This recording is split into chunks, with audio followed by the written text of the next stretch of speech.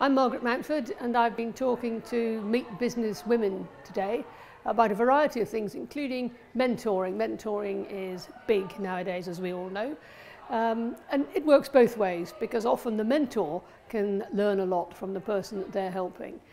Mentoring started out with older people helping young. We've now progressed to people uh, mentoring or buddying uh, their contemporaries, people at the same level in an organisation as them.